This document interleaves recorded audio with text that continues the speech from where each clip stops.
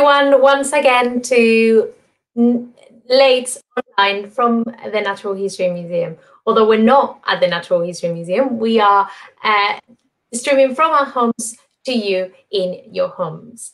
Now, tonight we have a very, very special late in front of us. We are going to be talking quizzing dinosaurs. Um, and uh, we'll be talking with some paleontologists in the panel discussion, and then uh, I'll pass it on to Khalil and Alison to quiz you on your knowledge on dinosaurs. But remember, these shows are live. So what you can do is uh, send us your questions and comments in the chats in YouTube and Facebook. And during the panel discussion, we'll try and get through as many as possible today uh, through the through the show.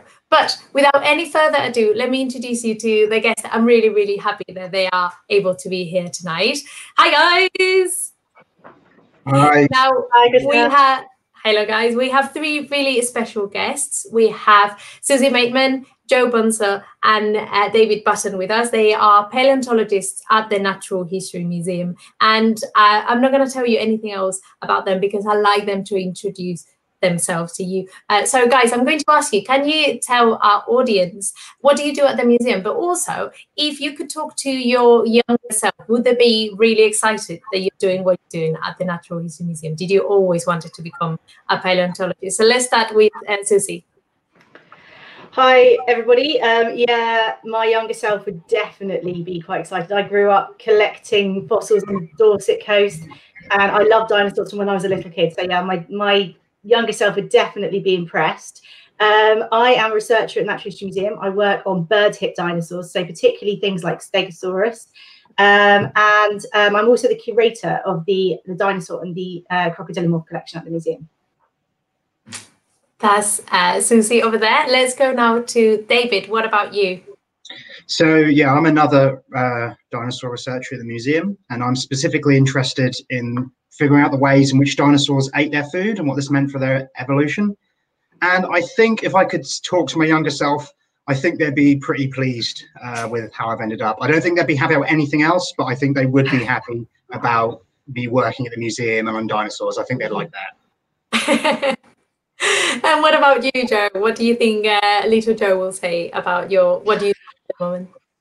Yeah, well, I'd, I'd like to hope that um, younger Joe would be reasonably happy with where I am. Um, I'm a PhD student at the uh, museum as well, and uh, I'm researching a group of dinosaurs called the Iguanodontians.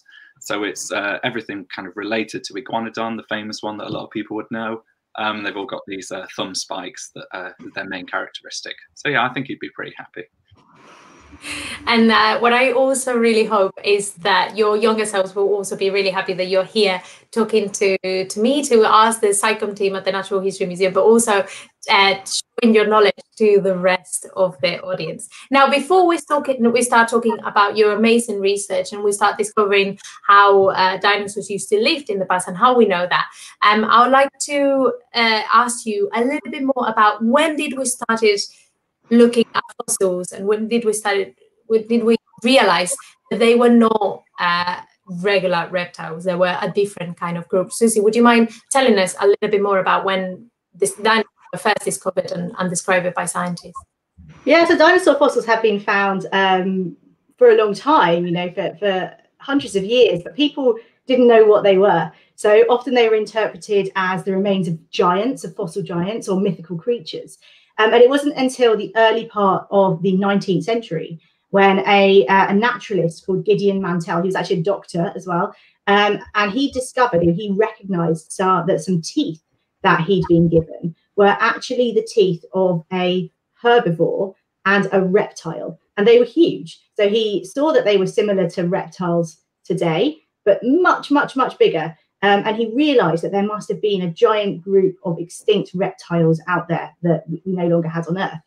And then um, this really kind of triggered lots of people to recognize these bones as fossil reptiles. And the founder of the Natural History Museum, Richard Owen, he realized he, he worked on lots of these bones. There he is. He worked on lots of these bones and he realized um, that they could all be united into this group um, by the characteristic of having their legs all kind of held under their bodies rather than sort of out to the side. um, like in, in reptiles today, and he named this group Dinosauria. So he not only named dinosaurs, they were first identified in the UK, um, but also he founded the Natural History Museum.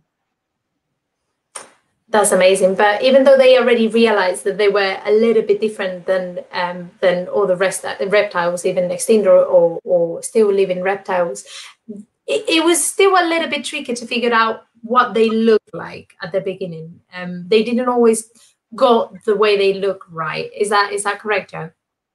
Yeah, that's absolutely right. Um, so you can see here, this is one of the first um, kind of reconstructions that were ever attempted for dinosaurs. So this is uh, from the Crystal Palace Gardens that you can still see them now.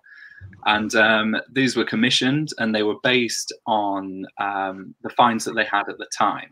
So at the time, we didn't know too much about dinosaurs and um, kind of thought that they were just kind of big lizards, you know, waddling around on all fours. And there wasn't that many differences between them.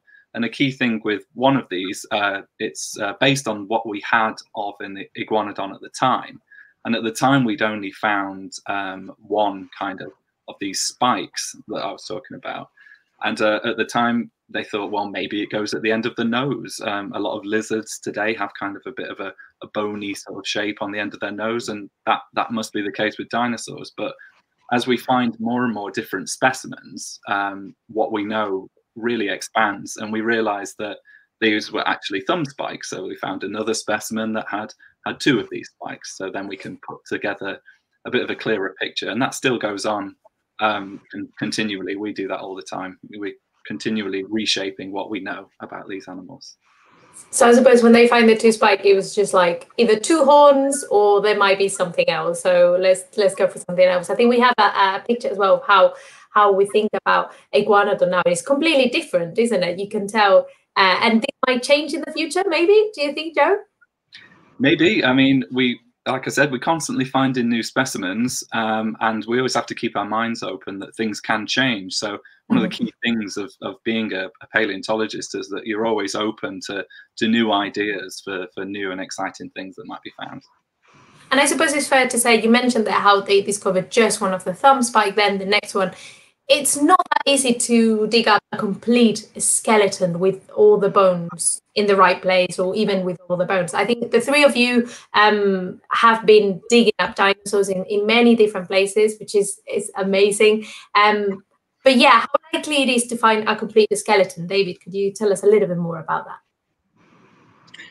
Um, so um, yeah, you're right. So um, we are very, it's very unusual that we'll actually get a skeleton or a mostly complete skeleton of a dinosaur. So typically we'll tend to only get very small fragments of bone or individual pieces of bone. And so in fact, there are many dinosaur species that are known only from like a single isolated fragment. And um, this obviously causes quite a lot problem. So we already seen with the Crystal Palace dinosaurs, but back then they were working kind of in a vacuum because they had little scraps and bits of various dinosaurs. Um, and they didn't really have anything to help understand them. They didn't have much to compare them to. Whereas today, um, we have some circumstances where we're very lucky and we have very complete skeletons like the Mantellisaurus that um, uh, Joe will be able to talk a lot more about. And by having these like individuals, they can act as a bit of a Rosetta Stone to help us understand like the smaller scraps we find from other species. So in this way, our understanding of dinosaurs is always improving, but it is dependent on us continuing to be able to find like these rare but very good, um, well preserved skeletons. Mm-hmm. Absolutely. So tonight we are going to be discussing and exploring um, how not only fossils but also modern technology and modern technique how uh, is helping paleontologists like our guest tonight to figure out more about dinosaurs, how their lifestyles were, were, but also things like how they moved, what sort of things they ate and how they ate them, how how they they went on on the lives, things that they can't see because uh, they are extinct. So in regarding those new, te- new technologies, Susie, what would you say have been one of the most significant advan- advances in, in the field of paleontology? How, how have things uh, significantly changed? Well, I think that the most, uh, the biggest advance that we have now is the ability to virtually reconstruct dinosaurs. So we can laser scan, which is what the, the picture that I'm doing here uh, is. And we can laser scan the bones to produce virtual 3D models of them. And we can also do CT scanning to investigate parts of the bones that we couldn't look at previously. Uh, and what this does is it allows us to build a virtual model of the dinosaur skeleton. Um, and this is really, really, really useful because we can do all sorts of things like we can um, figure out where the muscles attach. Um, we can, by looking at the bony processes on the bones, we can attach them digitally. Uh, and then we can look at, for example, if we were do doing that with legs, we could look at what the muscles were doing, the forces they were able to pull um, the, the, bones forward with, um, and how figure out and, and, help us figure out how fast the dinosaur was moving. For example, we're going to talk about um, how we can do similar things with feeding as well a bit later. Um, another really cool thing that we can do is dinosaurs have um, their brain is kind of surrounded by a bony brain case, and the inside of the, of the brain case um, allows us to reproduce really faithfully the shape of the brain. Um, and that allows us to understand a lot about their senses, you know, their sense of smell, their sense of hearing. Um, and previously, obviously, in order to get access to that information, we had to slice up the fossils um, and then look at the brain and produce a cast. And as you can imagine, curators are actually not that happy about you slicing up their relatively precious dinosaur fossils. So this CT scanning technology allows us to um, actually you know, virtually access the insides of these bones, which we couldn't get at before. So that's really moved forward our understanding and allowed us to kind of move beyond the bones and beyond just studying, you know, what species is what, um, to understand way more about the way that the dinosaurs lived. That's amazing. We're gonna have a, a, look through how about how you gone about doing it, how how those things have changed, and, and different examples of that and your work. Uh, because I always find that it's a bit of like um, a detective work. You're putting together so many pieces and then figured it out things that you can't see with your own eyes again because you can't travel in time. Um, now we're getting already we're getting loads of questions from our uh, audience, so I'd like to uh, throw at you um, one of them because it has to do a little bit with the, the representation of of dynamics. Now we have all these technologies. We we can um, scan, as you've explained, uh, Susie, well, or even look inside. Um, but whether we like it or not, there are dinosaurs that are represented in books, in pop culture, in films. And so Daniel uh, Holmes from YouTube is asking, is it true that velociraptors were incorrectly represented in Jurassic Park? I bet you've been asked that question many times uh, before. Who would be good to answer that? Um, David, do you want to go for it or do you think somebody else? I can go for that if you like. Yeah, so um, Velociraptor has potentially the um, not necessarily welcome award of being the most overrated animal of all time. so we think of Velociraptor from Jurassic Park being this sort of like like scaly, terrifying thing. So the first thing which most people are familiar with is that Velociraptor wasn't that big. The um, raptors in that movie were based upon um, larger relatives of it, like Deinonychus. Velociraptor itself was only about two meters long, so it's similar in sort of size to a um, like medium-sized dog or even sort of like a turkey. And then equally, we know it wasn't scaly. We know from a variety of evidence, both from its relatives and also from uh, some uh, some evidence from bones themselves, that Velociraptor was covered in feathers. So it couldn't fly, but would have had wing-like feathers on its arms and feathers across the rest of its body. Um, it wouldn't be able to open doors really because its wrists um, moved in the wrong way because um, like other dinosaurs, its wrists were mostly locked into this sort of motion and not that kind of motion. Um, and of course, doors don't exist yet. But even then, particularly when people look at the evidence of the brain, this perception the Velociraptor is very intelligent. Now, we do see that compared to other dinosaurs, Velociraptor has a relatively large brain. If we compare that to living animals, it sort of falls in the range of like most living birds. So, unlike what it says in Jurassic Park 3, Velociraptor wasn't as smart as a chimp, it was as smart as sort of like a hawk or something. So like good enough to get by its day, but not necessarily that smart. And that finally then comes round to the whole pack hunting thing. Because obviously we all think of it as vicious pack hunter. There's actually very, very little evidence um, that Velociraptor was a pack hunter. And even like its big toe claws were more of like stabbing implements than they were like slashing tools. So really, Velociraptor was perfectly cool in its own right. It was a sort of relatively small predator of sort of similarly sized small dinosaurs and other like smaller creatures. It just wasn't as like um like as hyper aggressive and powerful as its movie counterpart, which have have you believe. That's a fair enough um, answer. Thank you so much, guys. Uh, we also have another um, question I'd like to throw at you now, but I want you to think about it during the show and then we'll go back um, later because uh, you've been asked um, by Flossie, who's five, if you were a dinosaur, what would you be? So I'll get back at that to you later. I'll let you think about it um, during the show, and then you can decide what dinosaur would you be if you were a dinosaur. But yeah, we get loads of questions about what your favorite dinosaur is as well, um, and why you like being a paleontologist. So I'll, I'll reconvene on that uh, later on today. But there's another interesting question. Um, Karen on Facebook is asking, can you get DNA from bones? Um, Susie, do you mind answering that? Yeah, I can take that one. Well, um, actually, there's an increasing body body of evidence to suggest that um, soft tissues do preserve over geologic timescales. So remember that these dinosaurs lived from about 230-ish million years ago to 66 million years ago. So they went extinct a really, really long time ago.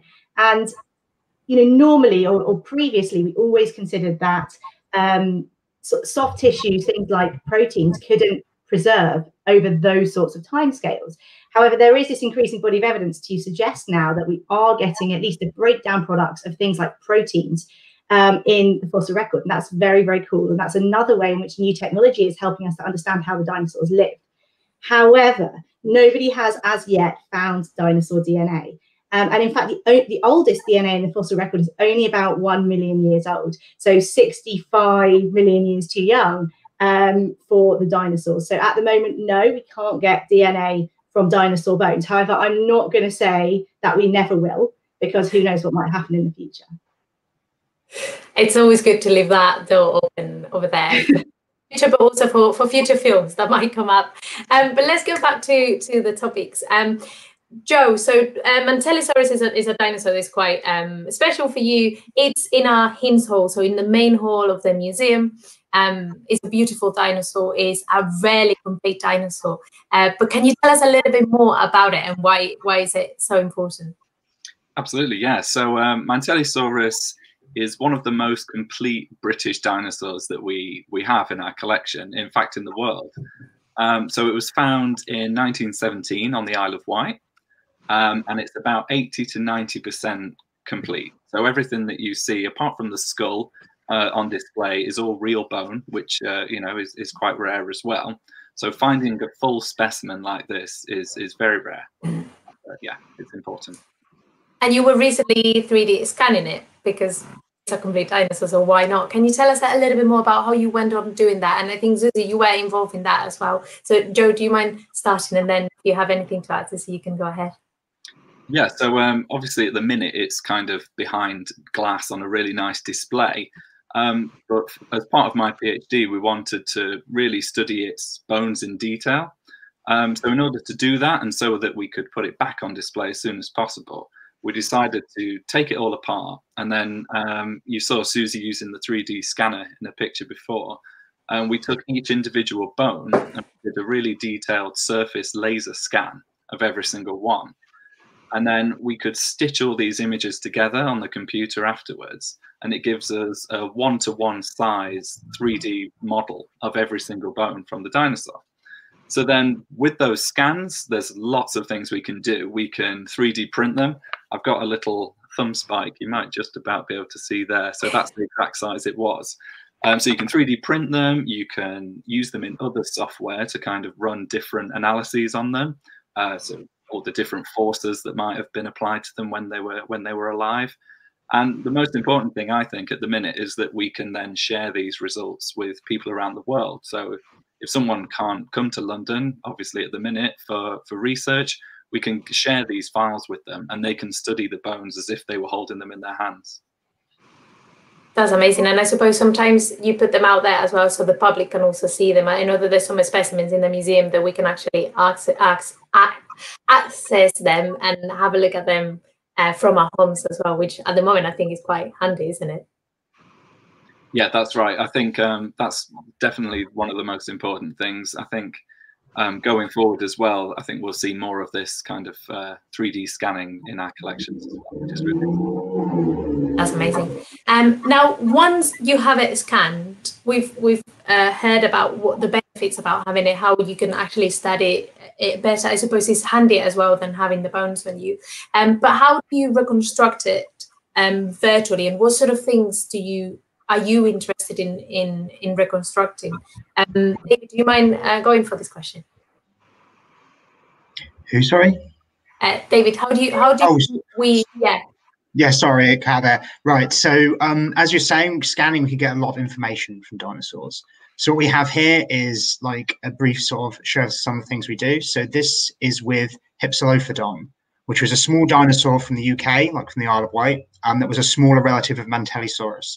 As you can see there, um, we've got quite a good idea of what the skeleton of this animal looked like. But then in the top um, left, you can see that is the skull. That's like a skull we have from this animal. And um, this is something then that we CT scanned, and that produces then what you can see there, the colorful image. That's when we've pulled that skull into side the computer, and it lets us work out which bone is which, sort of pull them apart. And as Joe was saying, that helps us to um, uh, share the results with um, other researchers and help to understand them more. But what we can really do here that was much harder to do before is by having in this virtual space, we can also begin to reconstruct um, more what the animal would have looked like actually in life. So we can see here, this is where by pulling that um, skull in, being able to, to pull all the bones that make it up apart, able to look in great detail at each one and work out, you know, which holes need to be filled in and which cracks need to be repaired. And then we can pull them all back in together uh, to get a 3D picture of what the skull would have looked like when the animal was alive. And this then forms the basis of much more work we can do where we can start to look at well, if this these are the bones, what other tissues would have been there? So, for example, what we do is we compare these um, bones from dinosaurs with those of their living relatives, so birds, and then also crocodiles, as well as other animals like lizards. And from that, we can start to work out what features we see on bones that indicate the presence of specific other tissues. So here, for example, this is the skull of Coelophysis, like an early meat-eating dinosaur. And you can see here, this helps us to restore the jaw muscles of this thing. And so this is the kind of thing that paleontologists have been doing for a while. But in the old days, you either had to kind of do it by eye with drawing or with like clay modeling. And it's much harder to make that sort of like a dynamic, iterative process than it is now we have powerful computing with which we can do it.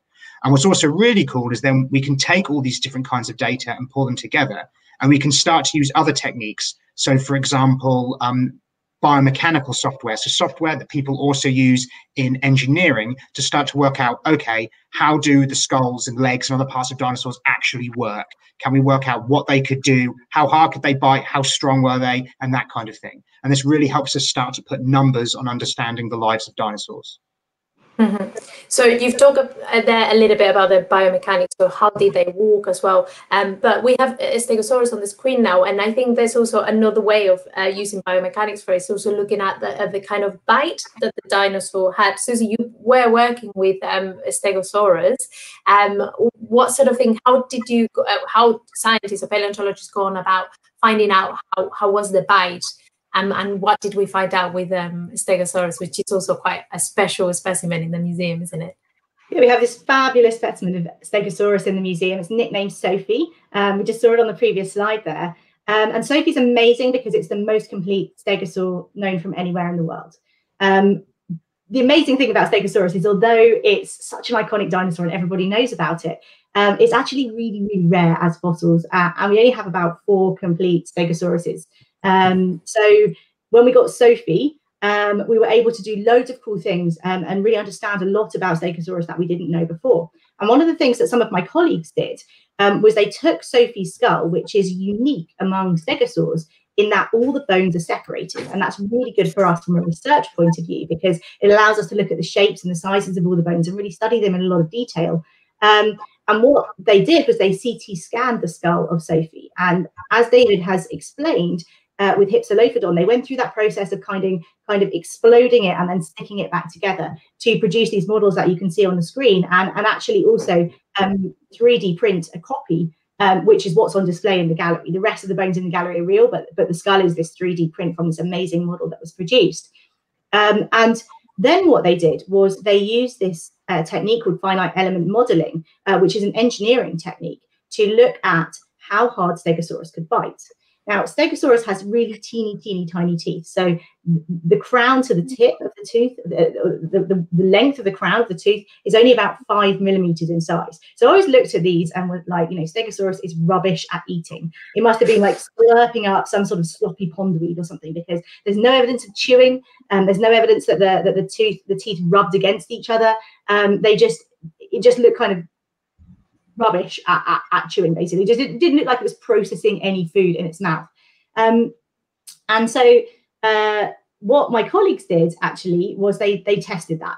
So they um, they used this technique and, and they they applied um, muscles to the skull and looked at how hard Stegosaurus could bite. And this is kind of a virtual twig that we can see on the screen here. Um, and they got Stegosaurus to bite on it. And what they found was that actually Stegosaurus has a bite force quite similar to a sheep, which I totally didn't expect at all. So it could probably have chomped through twigs and things like that. Um, and that is probably because it had this kind of keratinous, horny beak um, around the front of its mouth. Um, so it probably wasn't really using uh, its teeth a great deal. Um, so that's kind of an example of how you know I we thought one thing and it's been totally overturned by being able to actually test it and put numbers on it um, with these sorts of analyses. I, I actually love that you said we, we got a stegosaurus to bite a twig. So even mm-hmm. though you can't actually see it, you, you can actually model in it and, and it's like seeing it in real life, which is is mind blowing as you were saying it. And I was like, oh my God, this is so cool. And then you get surprises like this. And I think, David, there was another dinosaur as well that the, the solution, the, the result that you got was the opposite. You were expecting the bite to be quite strong and then it was quite uh, weak, wasn't it? Yeah, something a bit like that. So this is another of the museum's famous dinosaurs. So this is um, Dippy, the Diplodocus. And we weren't expecting Diplodocus to have like a powerful bite or anything, but still like it's four, it's like three times, three to four times the size of Stegosaurus. We thought, okay, it will have a more powerful bite. Do you think how much plant things fodder that thing would have to eat? It would must be have something that would help it to um, deal with the plants it had around it.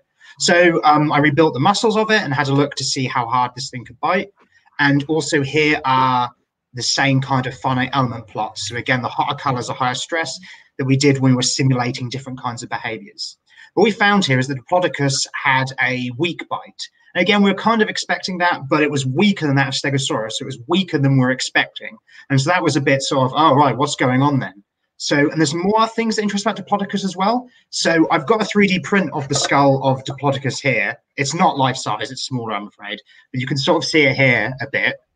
And you can see its teeth, they stick out out of the front of its mouth. And so this means the teeth of Diplodocus, they don't actually sort of shear or grind against each other like your teeth do. They just sort of grip. And so we wondered, like, okay, it's got a weak bite and these like gripping teeth um, how does that mean it fed? And so we investigated different like behaviors. And what you can see here on the um, left is that is the that is when we're simulating it biting. So again, we're having it like bite into leaves, a bit like sort of the Stegosaurus. But on the right is where instead we had it pull at leaves. So Diplodocus has quite large areas on the back of the skull for where the neck muscles would attach. And from that, we think what it would, might have done is gripped onto leaves of its teeth like that and then pulled with the neck to help detach the leaves afterwards. So it would make up for its weak bite forces by incorporating the neck to pull. And that's something we also see in some living herbivorous animals that they do. And so this this like quite specialized feeding mechanisms. We think the Diplodocus used this to help feed on quite soft plants like um, ferns, also um, high leaves and trees. So that's kind of a way in mm-hmm. which we didn't get the answer we necessarily expected, and that helped us get like a new dimension on a dinosaur that we thought we knew. And then I suppose we have um, Camarasaurus and Diplodocus here on, on the screen. You can compare it with dinosaurs that might have had similar diets or that you would have expected um, to have similar diets, right? So Diplodocus and um, Camarasaurus, two sauropods with long necks. Um, they what what do we know about them and what have we found out, David? So yeah, so Camarasaurus is interesting because it's another sauropod that lived in the same time and place as Diplodocus. And it was overall similar, had the same like long neck and tail, but its skull was very, very different. So its skull was more like boxy and heavy and robust. So again, with the 3D prints, that you could see like this is the skull of Camarasaurus, and that is the skull of Diplodocus. Like Camarasaurus has a far more powerfully built skull. As we did the same kind of analyses, um, uh, rebuilding the muscles and simulating these feeding behaviors, and from this, we found that the bite of Camarasaurus was like powerful. It was similar to the bite force of a gorilla or a panda, like herbivorous animals that feed on tough, like woody plants. And we also found the skull was much, much stronger when um, coping with these like crunching bites. But when we simulated the same sort of pulling behaviors that we did with Diplodocus, we found the skull of Camarasaurus didn't handle these very well at all due to features of the teeth. So this brings us like this idea that these animals are feeding quite differently. With Camarasaurus like biting and crunching through coarser foliage from trees, whereas Diplodocus instead is like plucking at um, daintier foliage. And the fact that we've got these two animals that were similar and lived in the same time and place that were feeding differently, and also then Stegosaurus, which also lived alongside these sauropods, but we've already seen that quite a different feeding mechanism. This helps us to work out the different roles that these animals would have had in their ecology, and really helps like build up the um, world of the Jurassic. Mm-hmm. Absolutely. So um, that it, it, just it still blows my mind that we can have a look at the we have the techniques now to actually figure it out how how they used to it and and and find out so much about about the lifestyles just from that. Uh, now we've had loads of questions from our audience. I'm, I'm going to uh, throw some at you because there, there's some that are interesting. And actually one fits really well uh, something that i wanted to talk about next. Uh, so Raphael Steiner uh, on youtube um, they're asking how do you go about having educated guesses at the motorics of dinosaurs? So, so for example, the strength or the run speed.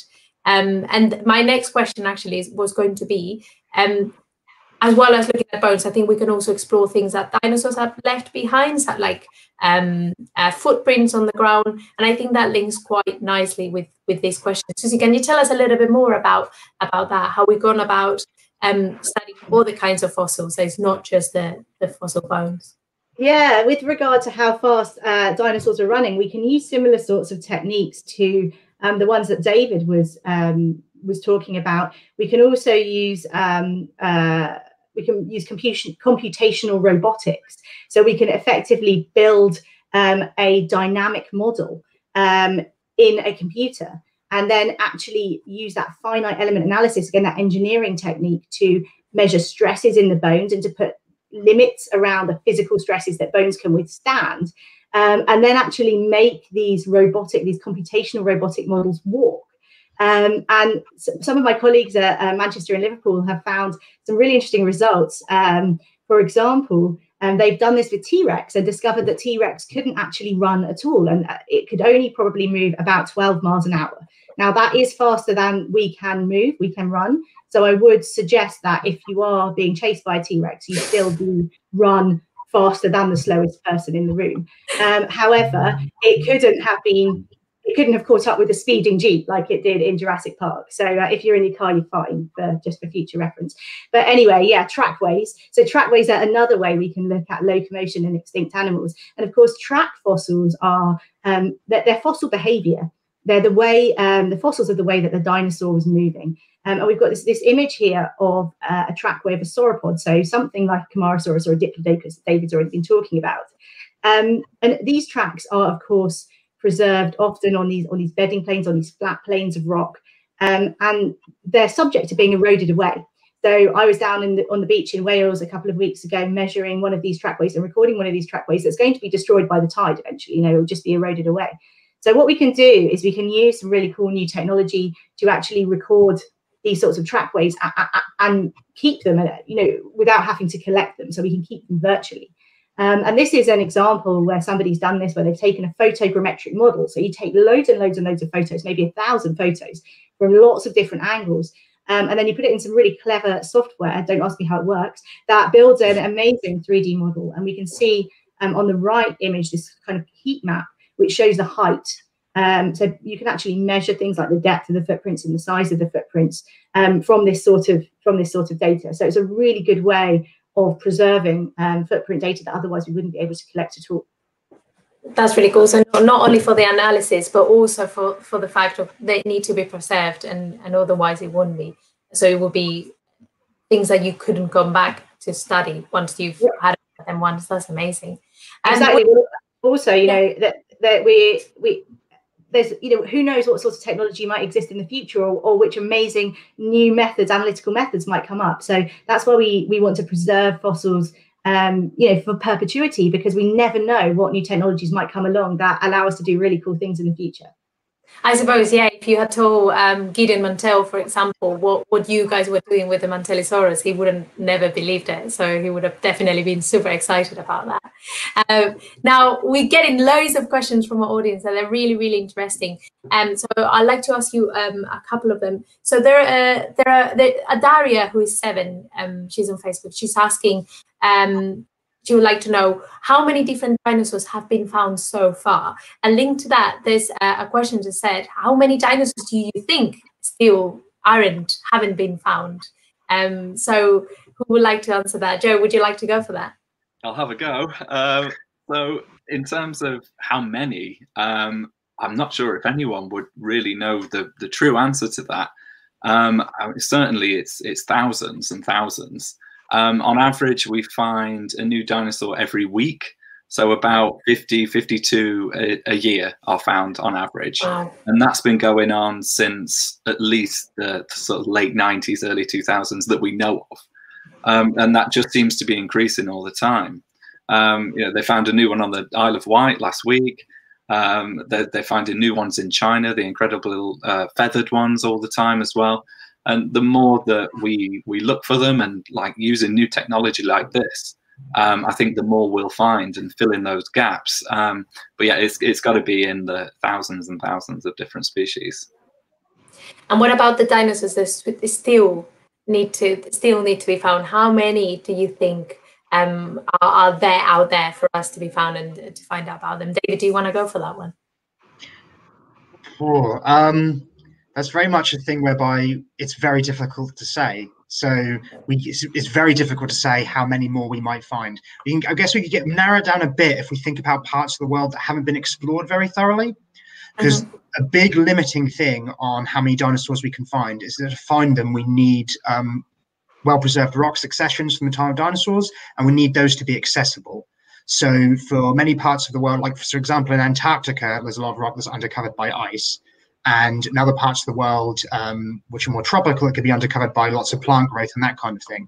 But I guess, like, who knows? Maybe there'll even be technological advancements that allow us to explore these kind of regions and get a better idea of what's there. So, so for the moment, I'd imagine there's at least as many dinosaurs left in the ground to find as we have already done so. And so at the moment, given that, you know, depending on who you ask, we might have anything from sort of like 700 to like over a thousand dinosaurs. Who knows how many there could have originally been? There could have been far more than we know right now.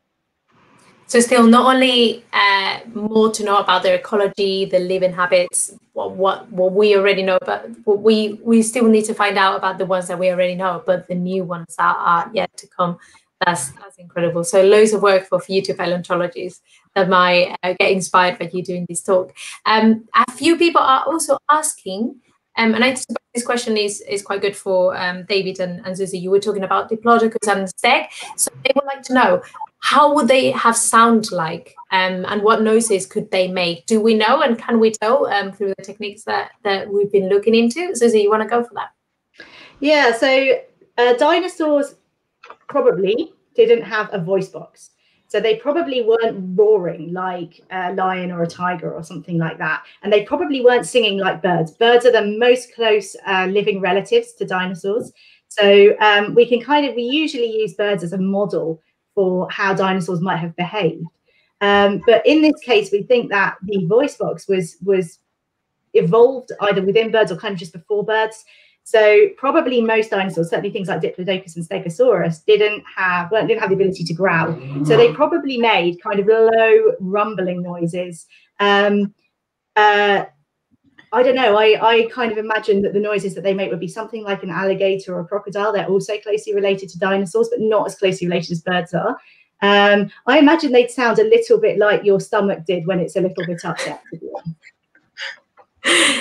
That's right. No, that's a really, really good answer. Um, and um, another question that we had, and um, we had it quite early. Well, you actually answer um, Jane um, Hill on Facebook, who was asking, um, was the closest living relative to dinosaur is birds? But we had another really interesting question uh, from YouTube. What has been the most recent rewriting on, of dinosaur understanding? So anything that recently has changed of the way that we understand dinosaurs, what would you, what would you think? Um, have you got any ideas? I can I could see David thinking. Um, so David, I'm going to go to you, but you can pass these on to anyone. well, I don't know. Like, if anyone, feel free to jump in if anyone's got like an immediate thing. But I think there's been a few things that have really shaken up our understanding of dinosaurs in the last few years. So um, some of them have highlighted how little we know. So, for example, one thing which is still quite obscure and there's still papers being published about is exactly how the earliest dinosaurs evolved. So we still don't have a particularly solid idea of how the earliest dinosaurs and dinosaur like animals, what exactly their relationships were. And so when certain dinosaur groups appeared, that remains quite uncertain. But as for things like really revolutionizing our understanding, one thing which Susan can talk about a lot better than me, actually, because um, it's something she was involved in, has shown us that we might actually be able to get um, uh, some of our dinosaur specimens might be a lot better preserved than we think. And there's a lot more sort of, of the information about dinosaur physiology potentially preserved than we thought there was before. So that was quite like a big kind of, whoa, there's a potentially a lot of things going on here. So that was quite a big shake-up as well. It's kind of hard to think of like one original moment because we're in like a continual sort of revolution. Like our understanding of dinosaurs has changed so much over the last like two decades. There's like just an ongoing like course of like changes as we see more bird di- like dinosaurs and other things that yeah, it's hard to pick out like one single thing for me at least. I don't know. The others probably have better ideas. And uh, Susie, I'm going to go to you as well, but I suppose it's a little thing might then lead to bigger uh, discoveries as well. Um, as well, it's kind of like a change reaction. But yeah, what, what was that um, bit that David was talking about? That said, as Susie might yeah. know more about that. well, I, I, mentioned it a little bit earlier about soft tissues in fossils. Yeah. So this idea that that actually soft tissues preserve over uh, longer timescales than um, we previously realised. And the research that I was involved in, um, we accidentally um, we were looking for something entirely different, but we accidentally discovered um, some dinosaur blood. Um, we discovered dinosaur blood cells preserved. Um, and when we analysed those geochemically, we discovered that actually we had the breakdown products of hemoglobin, which is a major protein wow. in blood, um, that was that actually preserved over geologic timescales. So um, there's been an increasing body of evidence for about 20 years that suggests that these kind of soft tissues can actually preserve uh, for a, a really long time, and we, you know, we really didn't know that at all um, before 10 years ago. And and you know, this opens up paleontology to a whole new way of investigation, whole new methods of investigation, kind of much more molecular uh, type methods. So there's loads of potential there in the future. Now we, we get into so many other questions, and I'm, I'm, afraid we might not be able to go through all of them uh, because we get into the end of the show. Uh, but one one thing that I'd like to ask you before we go back to uh, what dinosaur do you think you would have been if you could, could pick a dinosaur to be? Which one would you pick? Um, so there there were um, there was this is a really interesting question on Facebook. Um, uh, on Facebook, yeah, the uh, Pam is asking how do you work out the color of the skin and feathers of dinosaurs? Do we know? Uh, Joe, you haven't talked to a bit. Do you do you want to go first or pass it on to someone? Yeah, I, will I'll uh, tell you everything I know. So um, actually quite a, a, recent thing that um, some researchers that we, we we know at the museum uh, and beyond have been have been looking at. So um, we've been able to zoom in really really close on these beautifully preserved uh, feathered dinosaurs. A lot of them, like I mentioned before, are found in China quite often, uh, but the conditions have got to be just right for these feathers to preserve in detail. And we can zoom in with a really powerful microscope and we can actually identify some of the individual cells which make up color. Um, so we can tell the difference between different shades and different colors. Not all of them, um, because they don't always preserve as well. They either break down when the animal dies or they don't fossilize but we can identify individual cells um, which control for color. So black, white, and brown are ones at the minute um, that we're able to tell. Um, so we can see that a lot of these feathered dinosaurs are kind of like a lot of the paleo art that comes out, these reconstructions, are kind of accurate. So they'd have sort of banding of these different colors across their body. Um, probably quite similar to a lot of maybe birds of prey and things like that that you, you get nowadays. That's a great answer. Now, um, guys, we're getting to the end of the show, so we're going to have to uh, finish up really soon. But I'm going to go back to to that question. Can you guys tell me if you have to pick a dinosaur uh, that you would like to become? Uh, which dinosaur do you think you would be? Let's start with um, David, for example. So, if you ask what dinosaur I'd like to be, I think I'd quite like to be one of the really big duck-billed dinosaurs. So some of the so you think of the duck-billed dinosaurs like Parasaurolophus. Some of their relatives, like an animal called Shantungosaurus, got really big, like as big as the sauropod dinosaurs. I think that'd be pretty cool because you just hang around, Uh, you know, they're highly social, which sounds pretty good. I'm sure it sounds pretty good to a lot of people right now. And you'd be really big, you'd be bigger than everything else and therefore better. And you could like smack around any like theropod that fancy to go with you. So I think that'd be pretty good. You'd be quite safe, have quite a nice life. As for what dinosaur I'd actually be, I bet if I up as one, I'd, I'd get something rubbish like a duck. I bet I'd wake up, everyone else would be a dinosaur, and I'd be like a duck. I'm like, oh, this is rubbish. But of course, because our dinosaurs, this like opens up a whole other sort of like lifestyles that they've got. But yeah, so hopefully I'd get to be like a giant duck-billed dinosaur, but we'd we'd have to see. That's fair enough. Um, Joe, what do what would you pick? Uh, I think I think I'd maybe be a triceratops. I mean, um, similar reasons to David. Really, they're they're really big. Um, not a lot of predators would probably mess with them. Have you seen the size of their horns? Um, and I think they'd be, uh, you know, pretty pretty nice life, just roaming around, chomping on some vegetation, and uh, looking scary. I think that'd be quite nice. That's brilliant. And uh, Susie, are you are you going to go for a herbivore like the like David and Joe? Would you pick something different? What would you pick? I would pick Archaeopteryx, the first bird. Imagine being a bird. How cool is that? I would like to, I'd like to be able to fly. Um, they've got quite big brains, um, which be, I imagine that would be a nice thing to have. Um, you could you could you could fly. I mean, it was so cool. And you could fly above the heads of all these giant dinosaurs like Joe and David and there. you know, sauropods and their triceratopses and their hadrosaurs. Um, and yeah, I think that would be that'd be a cool thing to be one of the first birds.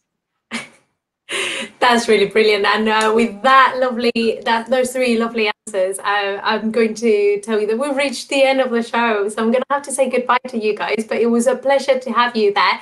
So bye, Susie, David, and Joe, and hopefully see you soon for another show. Um, and I'm going to say goodbye as well to all our uh, all the people watching. But it was a pleasure to be here for you. And so thank you so much for watching and sending all your questions. Sorry we couldn't get through so all the questions that we have. But don't worry, we have more dinosaur shows planned for the future. So just keep an eye out.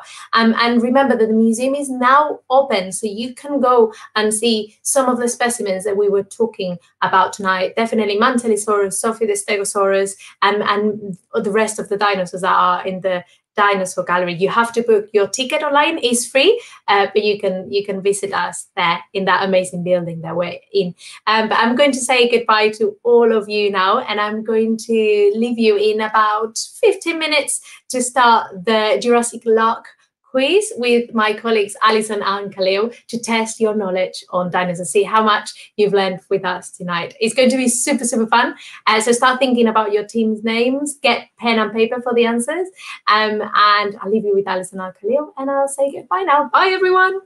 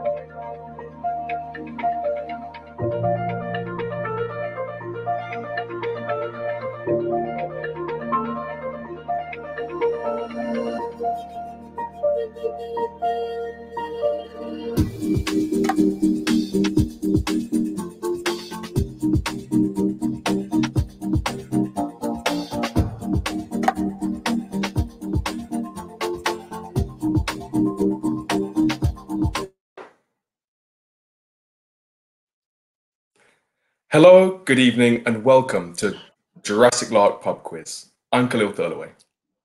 And I'm Alison Sheen. We hope that you enjoyed that fantastic uh, panel discussion earlier, and you've now had some time to grab yourself a pen, some paper, and maybe a little drink during the break, because it's time to put your prehistoric knowledge to the test.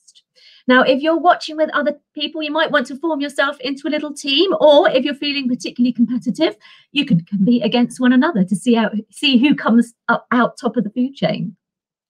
And we love for hearing from we love hearing from you guys in the chat, uh, especially your amazing team names and stuff. So please do keep those dino puns coming in the comments. One thing we do ask though is that you don't post any, post any answers in the chat. You may be super proud of your answer, but it can spoil the quiz for other people. Likewise, if you see an answer posted in the chat, maybe think twice before you copy it because there's a pretty good chance it could be totally wrong. now, we've got four different rounds for you tonight with three questions each. Um, you get one uh, point for each correct answer. So we have a total of 12 possible points up for grabs for you tonight. And we've got rounds about dinosaur general knowledge, dinosaurs in popular culture, dinosaur identification and creatures that are sort of dinosaur adjacent.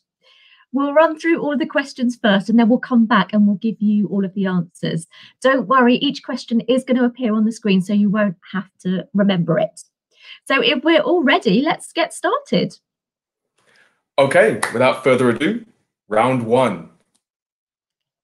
General dinosaur knowledge. So, question one. In the 1920s, paleontologists discovered a fossilized dinosaur that was suspiciously close to a fossilized nest of eggs. So they thought that these eggs had been the last meal of the dinosaur and assumed that it had been raiding the nest. So they called it egg thief. Later, it was discovered that these suspicions were unfounded, and, and in fact, the dinosaur had been incubating its own eggs. However, they decided it was too late to change the dinosaur's official scientific name. But what dinosaur are we talking about? So I've got three options here if we get to the question slide, we have which dinosaur was initially misidentified as an egg thief. We've got A, B, and C. We're not going to tell you their names yet, but you have a look at and see if, which one you think would be robbing a nest or would be wrongfully accused of robbing a nest. Oh, that one's tricky actually. I'm not too sure about that one. we'll see, we'll see. Oh, and just uh, before we go on, we've got some great uh, quiz names coming through uh, from our from our viewers. We've got the Raptor Squad, Jurassic Girls, Dodos, Old Fossils, and Team 1.5. I'm not sure which which uh, which name I like best. Oh, Nigel Marven's eggs. You quite like that one. All right, I'm rooting for Nigel Marven's eggs so far. Definitely, definitely. So let's have our second question. Now, dinosaurs have uh, a reputation for being very large animals, but in reality, they, they came in all sorts of shapes and sizes. Although the big ones certainly were pretty massive. But what we want to know is whether the biggest dinosaur from millions of years ago were bigger than the biggest mammals alive today. So, which is heavier, the biggest mammal alive today or the biggest dinosaur alive back then? What do we think? Is that a tricky one? one? Yeah, I, I mean, I don't want to chat too much about it in case we give them too many clues. True, true. But there were some pretty massive dinosaurs, weren't there? Yeah, yeah, they got pretty big. And a lot of them had names like, you know, Titan lizard and, you know, uh, like mega lizard and things like that. So those names imply they're pretty big. They do, they do. They're a bit of a giveaway, but we'll see. We'll, we'll see what people guess.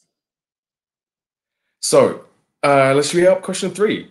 So Tyrannosaurus and Triceratops are two of the most famous dinosaur species by far, and they're often pictured battling it out in pictures, films, toys, games.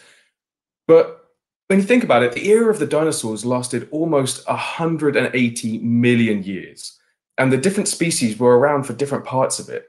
So some dinosaurs actually didn't even overlap by you know at all in, in their existence. They were millions of years apart.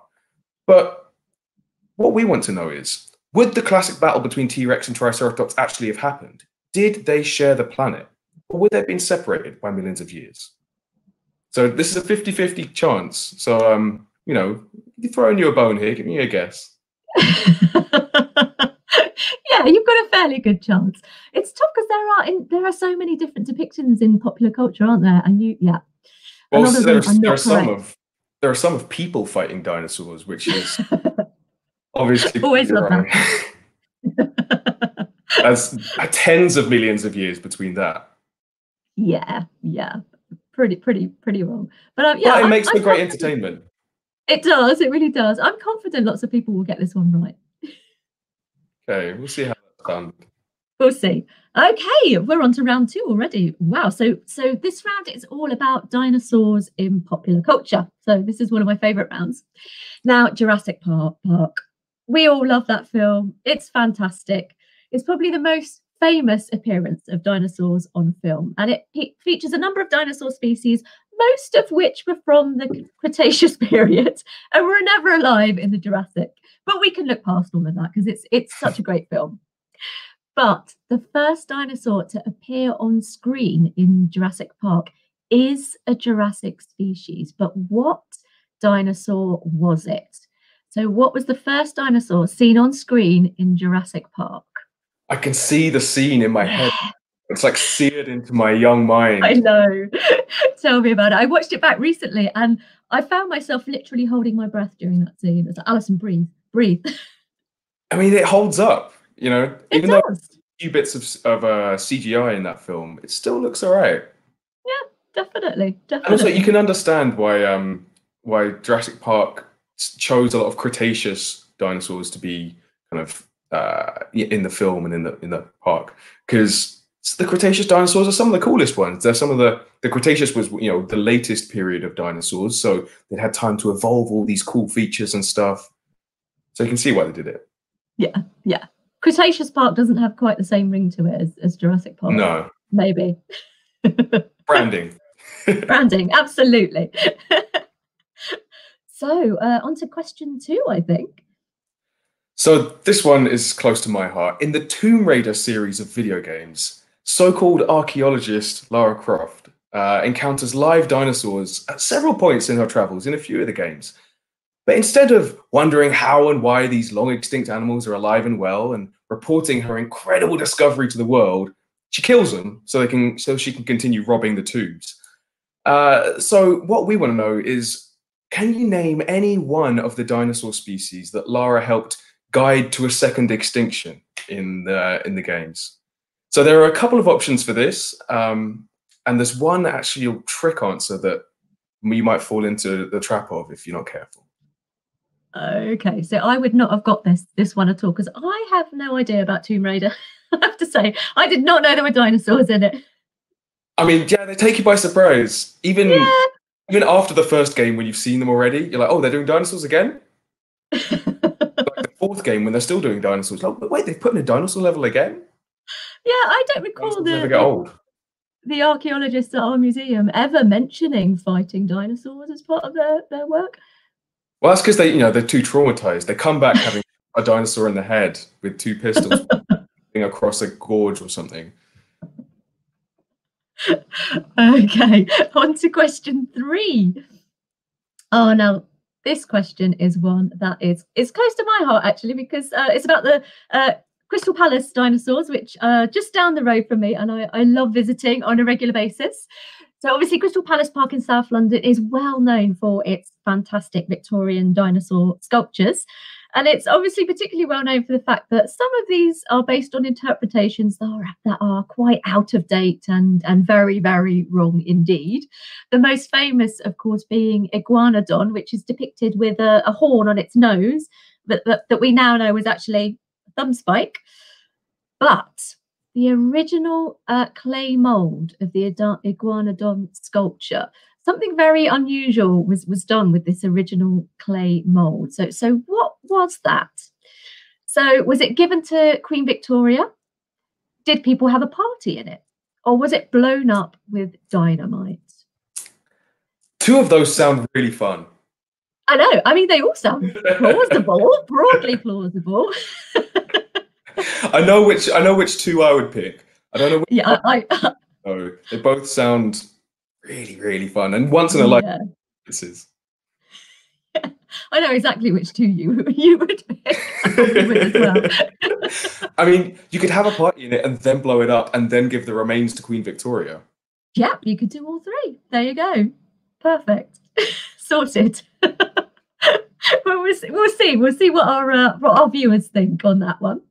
So A, B, or C. All right, should we go on to round three? Let's go on to round three. Okay, so round three. Uh, if if any of you watched the Pokemon cartoon in the early noughties, this may be a familiar format to you. But we're going to play a game of Who's That Dinosaur? Um, it's you know it sounds better with the music, but we couldn't get the rights. So we're going to show you some silhouettes of dinosaurs, and we need you to identify the dinosaur from just the outline. So first up, what do you think this dinosaur is? Tell us who's that dinosaur. So we'll give you a chance to have a look at it. Obviously, it's you know quadrupedal looking. Mm-hmm. Uh, it's got a little thing on the back of its head. Got some little pointy bits at the top. Who knows what they might be? So this is a kind of reasoning round. You're gonna have to use your okay. Eyes and your intuition. Ooh, tricky that one. I'm not sure. I've, I've got a bit of an idea, but um, yeah. I mean, we'll I put this we'll round see. together, so they're all in my head. so let's have our, our next uh, dinosaur. So this one is a carnivorous dinosaur. It's about three meters tall. I don't want to give too much away, but there is a big clue in this picture. You'll see that there is something in this dinosaur's uh, mouth, which might give you a bit of a clue to, to what it might be. But yeah, I don't want to give too much away, but I think people will get this get this one. Fingers crossed. Yeah, I, th- I think. Oh, there's a the clue might tip it for some people. Yeah, I think so. I think so. I think it's quite a popular one as well. yeah. All right, let's take it to the last one. This okay. one's about about the same size as the last one because I, I, forgot to say actually the uh, the first dinosaur we showed you was relatively small, about the size of a, a sheep or a really big dog. Uh, this one is about the same size as the as the as the second one, uh, so it's about three meters tall at the shoulder, uh, but it's kind of different looking. It's got that thing on the back of its head. It probably had a different lifestyle to the other one, but I don't know. You're gonna have to use your deductive reasoning. Mm, yeah, this one is great. Actually, this is a fantastic silhouette. it almost reminds me of um, going back to the PlayStation reference, Abe's Oddysee. Some of the creatures from that. Deep cut for the late '90s, early '90s kids out there. I think a lot of people will get this one. Hopefully. Hopefully, hopefully. Okay, so I think that's the end of Who's That Dinosaur, isn't it? It is, yes. We're going on to our final okay. round. Oh, so this round is I can't believe it's not a dinosaur. Now we're going to focus in this round on some of the animals that are commonly mistaken for dinosaurs, but they are not dinosaurs, as many of our curators and scientists will stress and get very irate about. If you ever want so, to wind up a paleontologist, just list some of these and pretend they're dinosaurs. Absolutely. It works every single time. so, for our first not a dinosaur, which group of prehistoric marine reptiles has a name that's derived from the Greek for fish lizard? And that was a great picture just before there.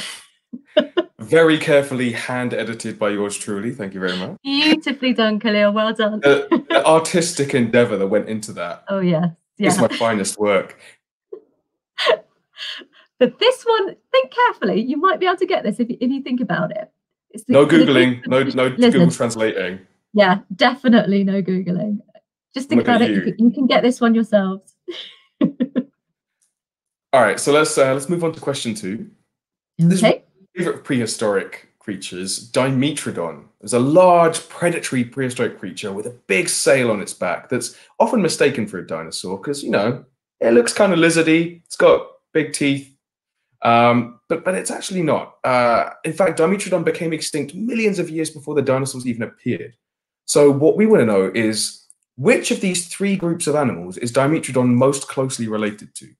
So we've got uh, a crocodile, we've got a seagull, and we've got a devastatingly handsome young science communicator.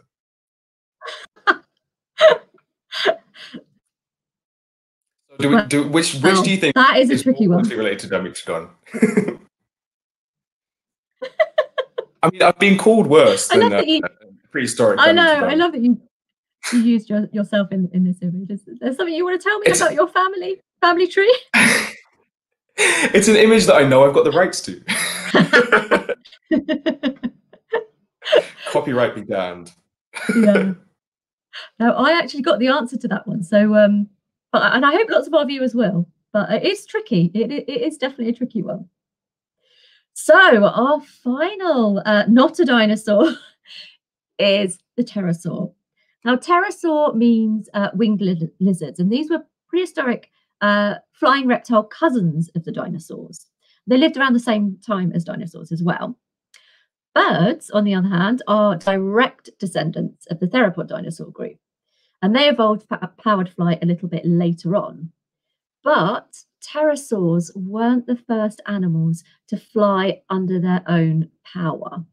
So, which group of animals evolved powered flight first?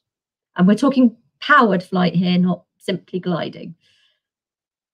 Okay, so there's a there's a few there's a few different groups of animals that can fly nowadays. So I guess you got to kind of yeah w- try and think which ones might have evolved first and which ones might have evolved flight first. I think maybe diversity is probably the, the key to this answer.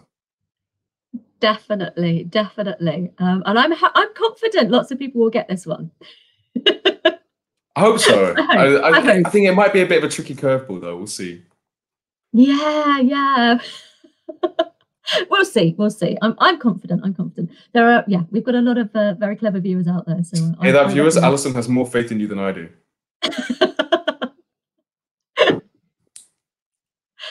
so what do we think? Was that an easy quiz, a hard quiz? Do we think we're going to get lots of high scorers? I, I hope we get some some high scorers, but I don't want everyone to be right at the top. I hope that there's Oh. a range, just so that we know that we've you know pushed people a little bit. oh, and we had a, a late entrance in for the, the the team names. Team Rex. That's pretty great. I'm pretty still good. Nigel Marven's eggs, just because I really want to see Nigel- Nigel Marvin lay eggs. But Team Rex is a great name as well. Team Rex is pretty good too. Well, we'll see how they all did. So, uh, shall we give them the answers? All right, let's go for it. So, Okay. first questions first. Uh, going back to round one, question one, we asked you which of these dinosaurs was initially misidentified as an egg thief? And if you put B, then you were correct. This is an oviraptor. So its name is made up of the Latin words for egg, like in the modern words oval, meaning egg shaped, or ovulation, producing eggs, and to take or seize, like how birds of prey are sometimes referred to as raptors because they seize their prey. Or if you have someone's attention, then you might say that they're wrapped. So that kind of uh, breaking down of, of uh, scientific names of dinosaurs and animals and, and all sorts of other things you can break it down into its component parts and and use those those uh, individual parts to work out what the whole name means. And there are some brilliantly named dinosaurs as well, aren't there? I mean, Oviraptor is a fantastic name, egg thief. When you start of my- looking at what, what the, the names mean, it's it's brilliant. There was there was um, a relative of an of Ankylosaurus that was discovered a few years ago, and it was called uh, Zuul Destroyer of Shins, but in Latin. Uh, because destroyer of shins, because just like uh, the Ankylosaurus, had this big old club at the end of its tail, and it was quite low to the ground. But also, it was called Zuul after the uh, the creatures in the original Ghostbusters film, because it kind of the the face looked a little bit like the monsters uh, from the end of the film. that is awesome. I mean, you've got to love paleontologists and their their na- their naming conventions. It's amazing. You give geeks power, and that's what we do. Brilliant. So well done if you you guessed that one, the the Oviraptor. Uh, so let's remind people of the uh, second question. So we asked you uh, which was heavier, the biggest mammal living or the biggest dinosaur? So let's have our answer. Was in fact the biggest mammal. Of course, the blue whale, the, the largest animal to ever have lived in the ocean, obviously. Um, things can get a little bit bigger when they're supported by water, but there were some pretty massive uh, dinosaurs out there, the, the titanosaurs particularly. However, they they weren't heavier than uh, the blue whale. So um, the maximum confirmed length of the blue whale is about 29.9 meters, 98 feet, uh, and they weigh about 190 tons. That's they can get up to that. In contrast, Titanosaur weighed between, we think, 99 and 110 tons. So still pretty impressive, but doesn't beat the blue whale.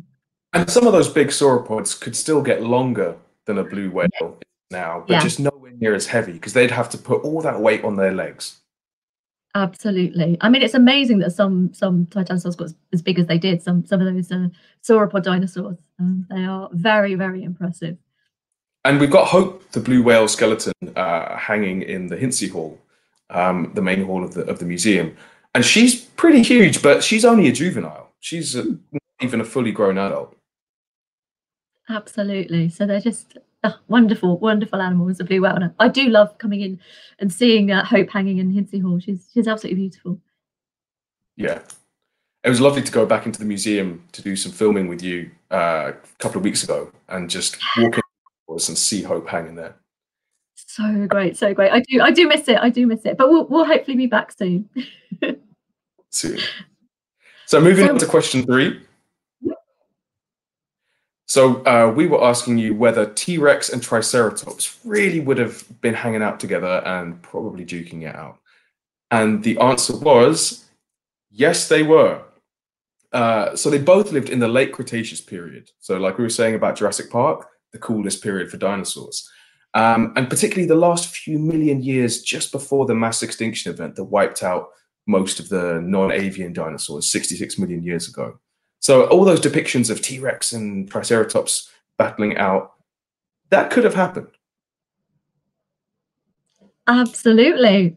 Um, and what a and what a battle because uh, Triceratops was was no slouch. Look at those those massive horns. Yeah, you would not want to take one on, especially because I think there's evidence that they lived in herds as well, and so mm. that's not just three horns you're dealing with. That's like thirty horns. Definitely. Okay, so well done if you got that one correct as well. I'm, I'm hoping lots of you did. Um, but let's move on to our pop culture round, uh, round two. Um, and so our first question uh, for that one was about Jurassic Park. We asked you what was the first dinosaur seen on screen in that movie? Did anyone get this right? I wonder. I think lots of people would have done because it's such an iconic scene, isn't it? But let's see the answer. Brachiosaurus.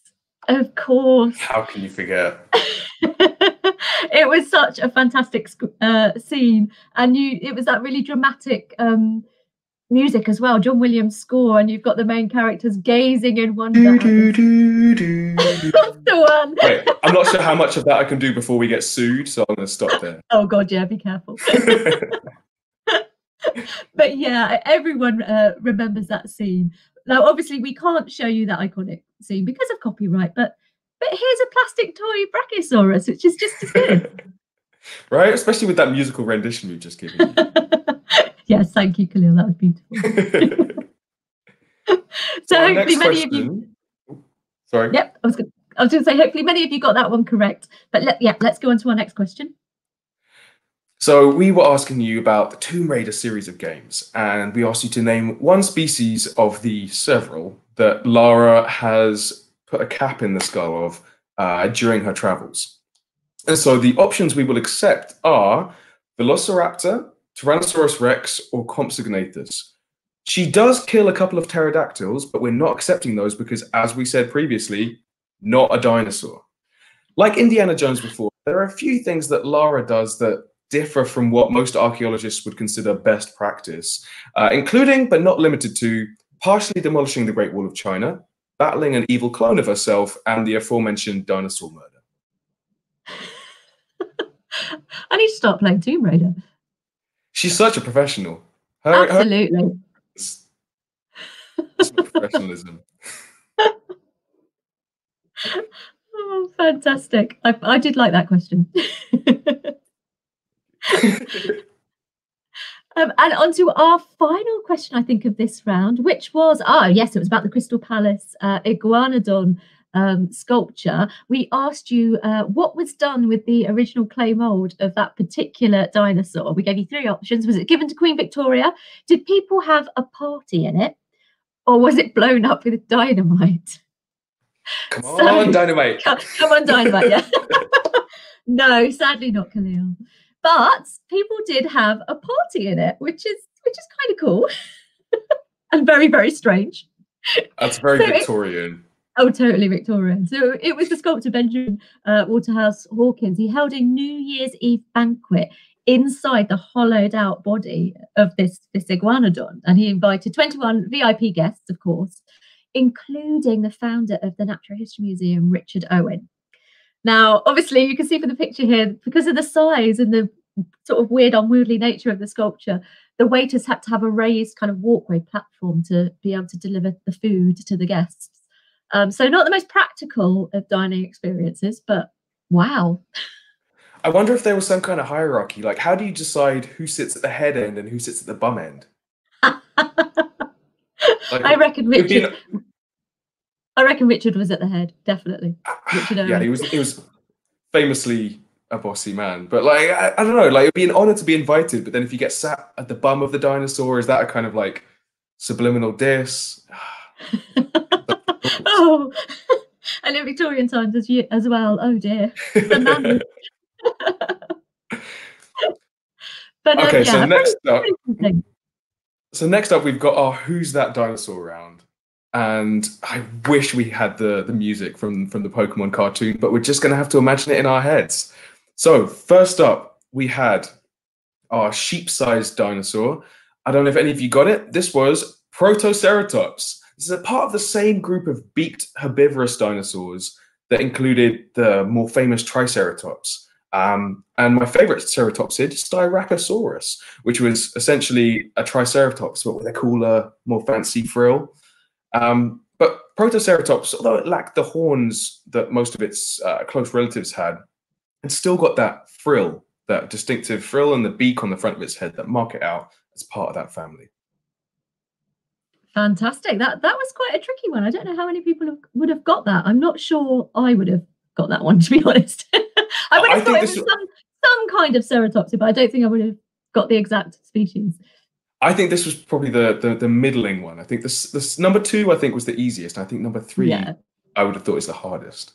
I don't know. I guess number three straight away, but maybe that's just me.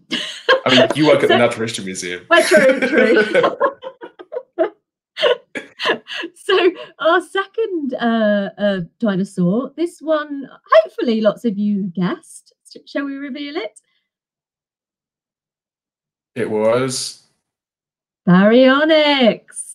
Many people's favorite dinosaur, this one, a UK dinosaur, which is fantastic, a relative of uh, Spinosaurus. So uh, Baryonyx lived in the area that includes what is now the, the UK. Um, and because of the shape of its snout and, and, and its teeth, uh, we think that fish formed a large part of Baryonyx's diet, which is why we see the little fish depicted there. And its name um, actually means heavy claw. They've got these amazing um, large curved claws that we think it might have used to actually hook fish from rivers. So well done if you guessed Baryonyx. I'm hoping lots of you got that one. yeah, that, that's quite a well-known one, especially here in the UK. Yeah. So this third one, another large dinosaur, but quite different looking. This was the longest word we've got today, Parasaurolophus. Uh, so, I- mean, I don't know how accurate that color scheme is, but great paint job, love it. Um, but there's a debate as to what the long crest on the back of its head was for. Uh, various theories include visual signaling to other members of the herd, regulating body temperature, or just amplifying their vocal cords, uh, vocal calls. Sorry. Uh, so I, I, I really like the last option. I really hope that it was just like yelling all the time, because Yeah. that outfit definitely yells. Like Absolutely.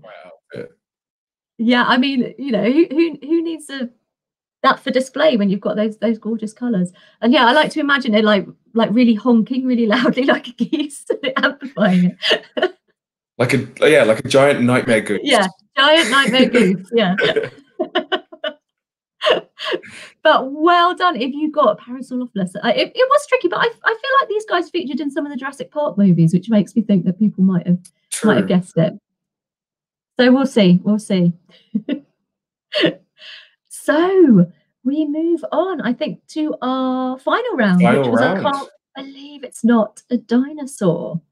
So uh, we started off uh, asking you uh, which group of marine reptiles is named after the Greek for fish lizard.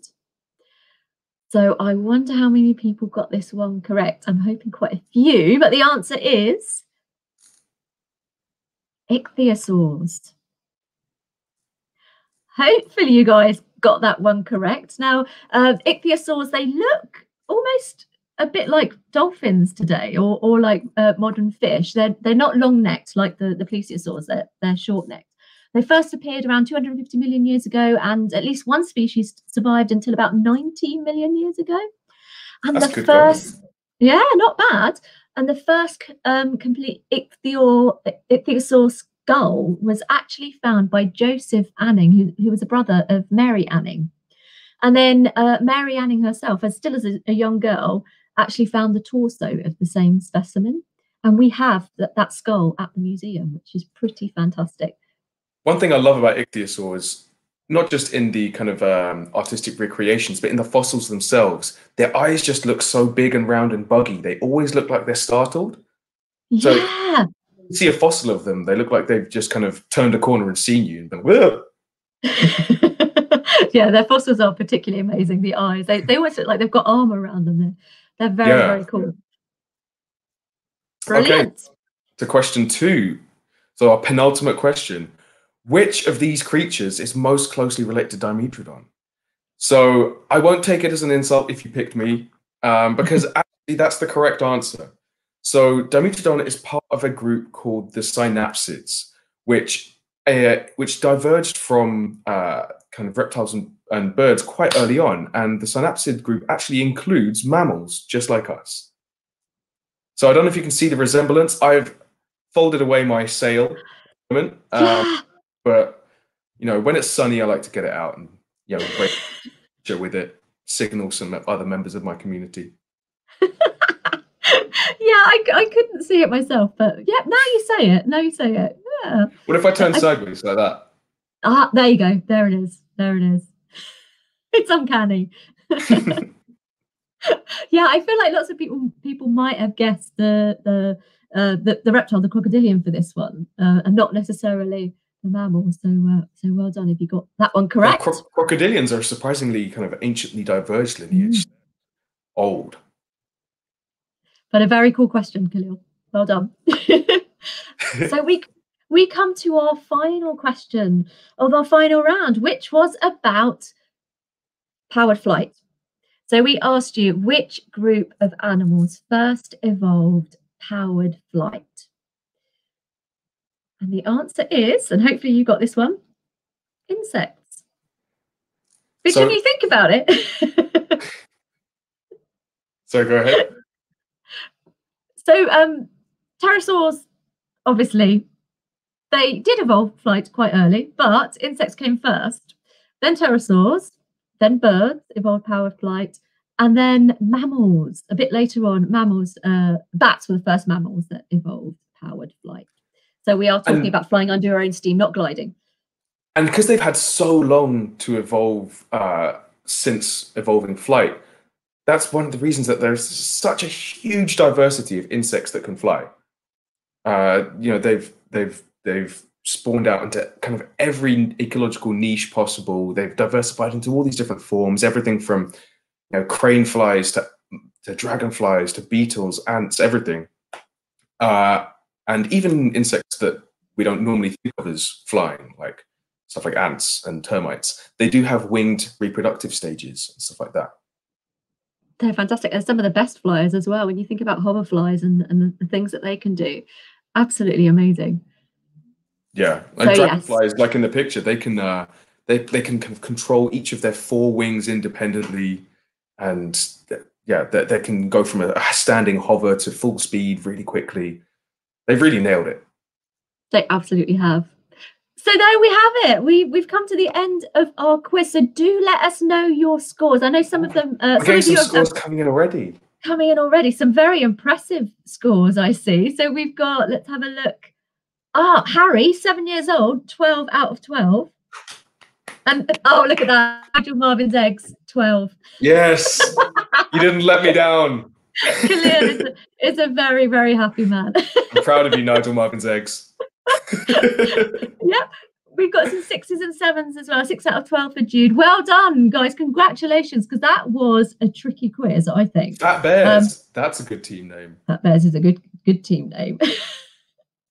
So uh, there's been a big spread of scores. So I, I think we we might have pitched it right because some people you know did pretty well, and then other people did did pretty well, but had a bit of a challenge with some of the questions. yeah, that's fantastic. Nine out of ten. Coprolites. Coprolites. Another good The name. fossilized poo. Excellent. Oh, fantastic. Yeah, I, I think we pitched it right. I, I always knew we'd get some high scorers with this one because there are always loads of people out there that love their dinosaurs and, and know everything. Um, so yeah, I was pretty confident. But but well done to everybody. Fantastic job. And, and thank you so much for joining us. Part of me is quite curious as to what questions people found the hardest, but in the comments, and we'll, we'll read them later because I think it's time for us to go. We've come to the end of our quiz. Um, I've had an amazing time. I hope you've enjoyed yourself, Alison. It's been brilliant. Uh, thank you so much for putting the, those questions together, Khalil. Oh, I had a great time. um, I, I spent longer than I should have on those Who's That Dinosaur slides. But thank you so much for joining us at home, guys. Um, I hope you've enjoyed it as much as we have. Uh, we've got the lates every month, last Friday of the month, uh, with different themes every single month. Keep an eye on our social media channels Facebook, Twitter, Instagram, uh, and on our webpage, nhm.ac.uk, for details. We've also got our Nature Live talks every Tuesday at 12 noon and every Friday at 10:30 a.m. And those topics will be up online as well on the social media and our website. Uh, but unless you got anything to add, Alison? No, just uh, thank you all again for your your fantastic answers um, and for your brilliant scores and for your brilliant team names. Have a wonderful weekend, and uh, we hope to see you again soon. Until next time, bye bye.